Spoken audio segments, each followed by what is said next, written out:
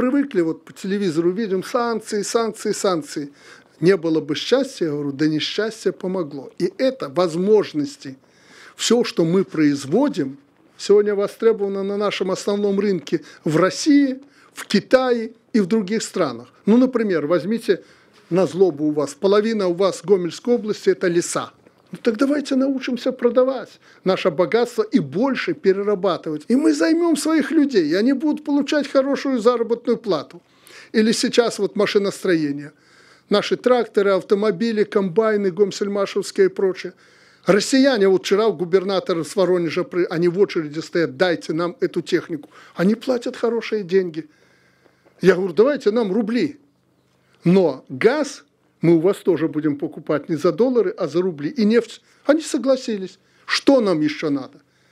Рынок открыт. Надо просто шевелиться и не плакаться. Санкции, санкции. Ну да, санкции. Надо где-то пошевеливаться. Слушайте, так нас э, 30 лет бомбят. 36, начиная с Чернобыля. Нам что, легче было когда-то? Нет.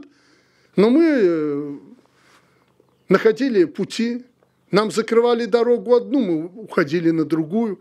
Так будет всегда. Не будет санкций, будет конкуренция. Ну, а сейчас они руки потирают, вот тут Россия вторглась в Украину, сейчас Россию поставим на колени, а следом и Беларусь.